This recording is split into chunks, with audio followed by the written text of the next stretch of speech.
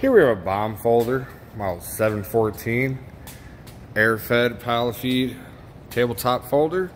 Unit's powered off 115 volts AC. All the details and specifications can be found on our website at boggsequipment.com. For any questions or inquiries, you can contact our sales department. Your on-off switch, running your folder, speed control, on-off switch your pump.